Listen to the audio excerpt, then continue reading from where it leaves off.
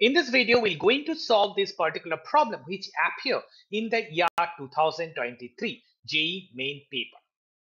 Let's go ahead and first understand the problem. So here we need to find out the number of solution of the given equation where we have a function, right?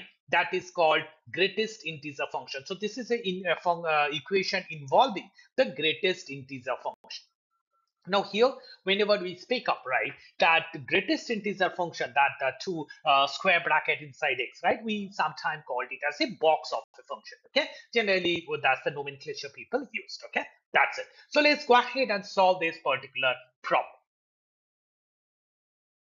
First, we consider the equation and we rearrange the given equation in some particular form such that all the greatest integer function or a box of x in one side. So here we take it everything in the right hand side. Okay. So here if we factorize the left hand side, right, by middle term factorization, we find out that it's equal to x minus 3 and x minus 1. So that will be equal to x minus 1. Again, if we take factorize multiplied by boxes. So therefore, that given equation can be easily reduced as x minus 1 multiplied by x minus 3 minus box of x, right? So the factorization of the above equation is performed now. Now let's go ahead and try to understand, right, that what can be the solution for this particular problem. Here, first we can easily say that in this case either x minus 1 is equal to 0 or x minus 3 minus box x is equal to 0.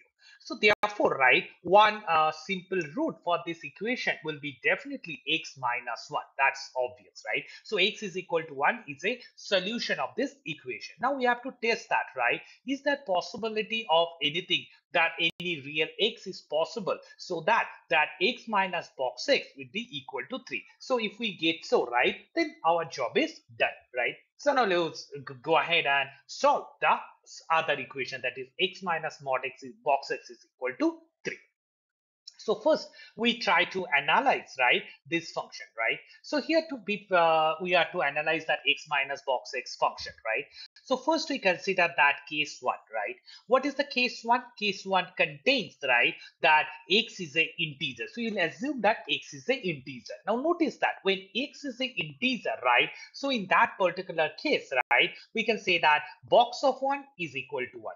Box of minus 1 is equal to minus 1. Box of 2 is 2 box of minus 2 is equal to minus 2 and so on so forth right so this definition we already knows right so therefore we understand that right that in this particular case right that box x minus x is equal to 0 always. So therefore, we know when x is an integer, box x is equal to x and therefore, right, x minus mod x is equal to 0. We consider that x is not an integer. So if x is not an integer, so then we can say that, take an example, 1.25 box, right? That's equal to 1. And now 1.25 minus box of 1.25 is always gives you 0.25 take the negative values, right?